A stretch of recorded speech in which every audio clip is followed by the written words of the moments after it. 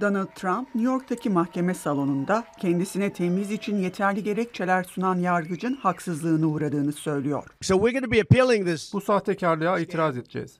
Birçok farklı konuda temize gideceğiz. Tanık getirmemize izin vermedi. Konuşmamıza izin vermedi. Hiçbir şey yapmamıza izin vermedi. Yargıç tam bir zorbaydı. Trump, 2016 seçimlerini yasa dışı yollardan etkilemek için kullanılan ödemeleri gizlemek amacıyla iş kayıtlarında tahrifat yapmakla ilgili 34 suçtan hüküm giydi. Trump, davanın Başkan Joe Biden'ın destekçileri tarafından tezgahlandığını savundu. Biden ise Trump'ın mahkumiyetinin kimsenin hukukun üstünde olmadığını bir kez daha gösterdiğini söylüyor. Şimdi kendisine olması gerektiği gibi bu kararı temize götürme fırsatı verilecek. Tıpkı diğer herkese bu fırsatın verildiği gibi. Amerikan adalet sistemi böyle işliyor. Sırf kararı beğenmedikleri için kararın şaibeli olduğunu söylemek pervasızlıktır, tehlikelidir, sorumsuzluktur. just because they don't like the verdict. Georgetown Üniversitesi'nden hukuk profesörü Abby Smith, Trump'ın avukatlarının temiz sürecine kendisini yargılamak için başvurulan yasanın son derece muğlak olup olmadığıyla başlayabileceklerini söylüyor. The statutes have so Yasanın içeriği fazla kapsamlı olduğu için kişilerin tam olarak neyle karşı karşıya olduklarını bilemeyecekleri, neye yasak getirdiğini, neye izin verdiğini anlayamayacakları kadar geniş ve muğlak mı olduğuna bakabilirler.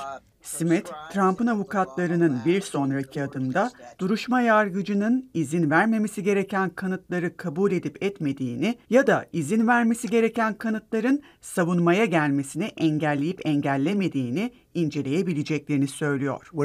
Bir şeyler yapmak istediğimizde izin vermiyordu. O şeyleri yapmamıza izin vermiyordu. Ama hükümet bir şey istediğinde her şeyi yapıyorlardı. İstedikleri her şeyi yaptırıyorlardı.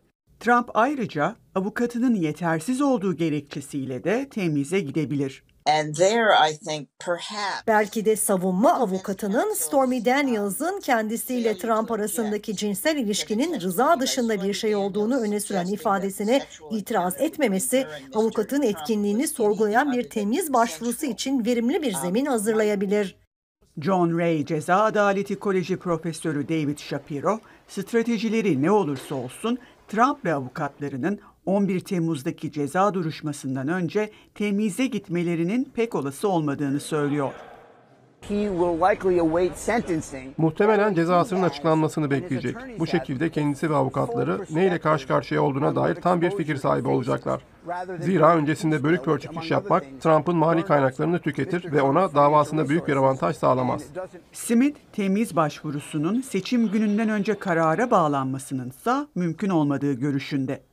This is not a quick process. Bu öyle hızlı bir süreç değil. Temizde bu dava başkanlık seçimleri nedeniyle istisnai ve acil olarak değerlendirilse bile bunun Kasım ayından önce gerçekleşeceğini düşünmüyorum.